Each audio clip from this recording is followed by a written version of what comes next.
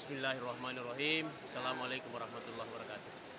Pada kesempatan ini saya Muhammad Saiful Saleh, Ketua Badan Pembina Harian Universitas Muhammadiyah Makassar, menyampaikan selamat bagi Makassar terkini pada usianya yang ke-13. Semoga tetap jaya dalam mengemban tugas informasi ke masyarakat. Terima kasih. Assalamualaikum warahmatullahi wabarakatuh.